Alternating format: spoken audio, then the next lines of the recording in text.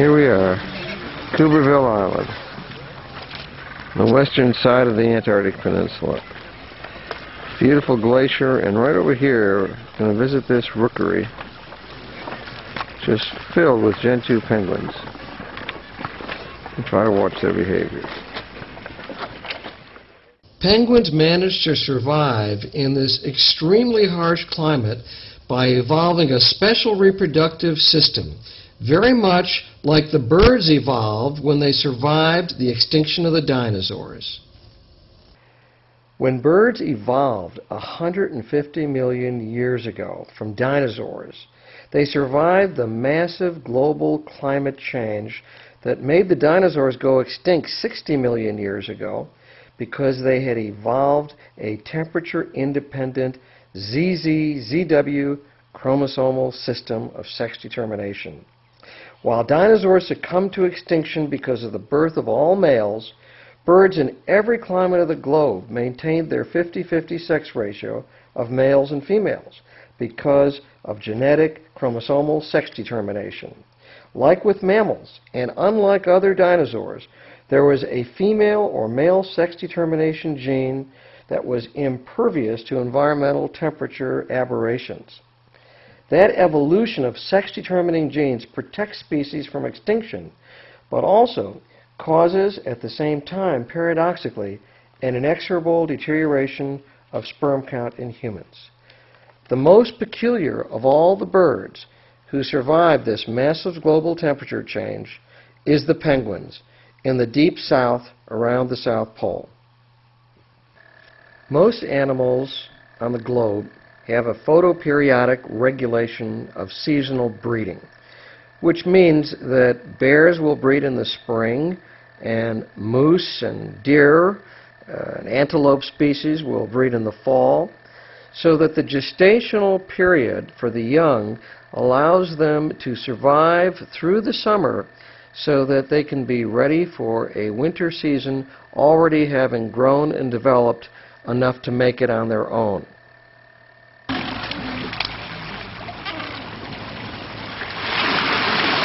hey, buddy, that was my curl, not yours. Don't put me like that.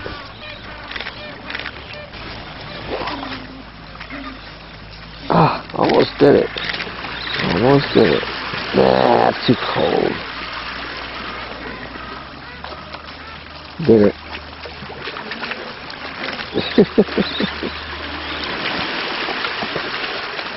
Come on, guys, let's get out of here. It's too cold. Birds almost everywhere throughout the globe will breed in spring and rapidly hatch their eggs and feed their offspring so that the young birds are capable of surviving and flying before the following fall season and winter. Oh, yes. You know, we checked the rookery out. Many, many, many thousands, too numerous to count. This is where they're resting and nesting, taking care of their chicks.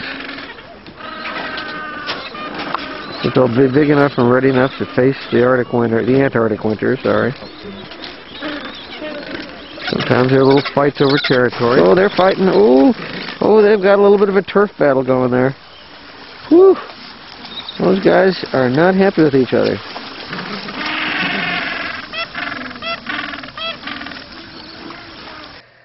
Emperor penguins, the huge penguins that we saw in the famous motion picture March of the Penguins, are birds that live in the deep interior of Antarctica, in the coldest area, closest to the South Pole. And they have a reproduction system somewhat different than the penguins farther north in the warmer Antarctic Peninsula. The huge emperor penguins from March of the Penguins leave the water in late summer and breed and their offspring cannot possibly be ready to survive on their own until the following spring. So they had to develop and figure out how to survive through the winter so their offspring could go out to sea the following spring. Now that pattern is completely different from that of most birds who will breed in the spring so that their chicks can be ready to survive on their own before winter comes. The smaller penguins that we see here uh, in the warmer regions of Antarctica, like most birds, come out of the water in spring, breed, and work feverishly to feed and grow their chicks through the brief Antarctic summer so that they will be ready for winter to go back out to sea. During this relatively pleasant summer season, these gentoo penguins band together in huge numbers of a 100,000 or more in every rookery in order to protect their young from predators like this skua that just love to feed on penguin eggs or chicks.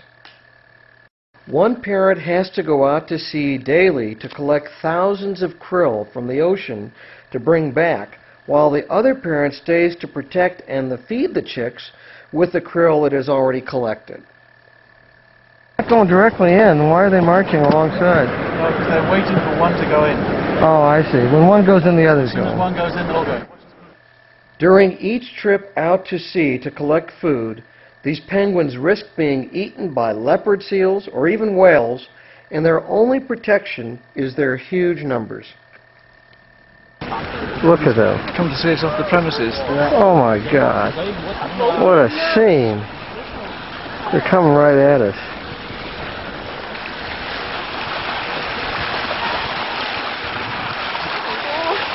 Oh my word. They're everywhere. Oh my word. Look, they've all stopped to take a look at us. Surprisingly, there is an incredibly abundant variety of wildlife in Antarctica, including seals and different species of whales, so many types of birds, that uh, they are all struggling to reproduce and survive.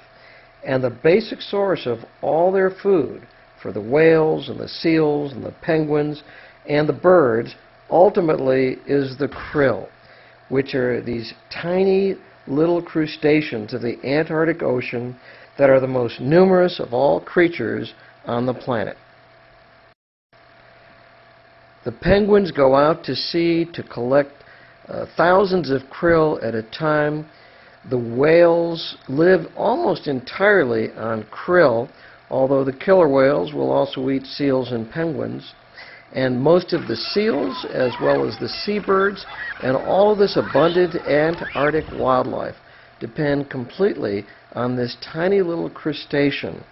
None of the abundance of wildlife in Antarctica could exist without the krill for their diet, and they could never have developed if they had not evolved genetic determination of sex and sex ratio so as to survive and reproduce in this harsh, bitter cold climate.